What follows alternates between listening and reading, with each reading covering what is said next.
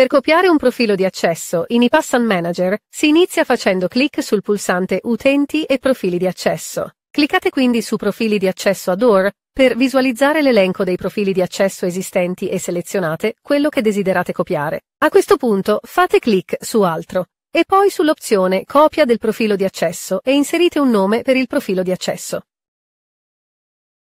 Scegliere quindi i punti vendita e i lettori che si desidera mantenere o aggiungere. Infine fare clic su Salva. A questo punto il nuovo profilo di accesso dovrebbe apparire sul lato sinistro.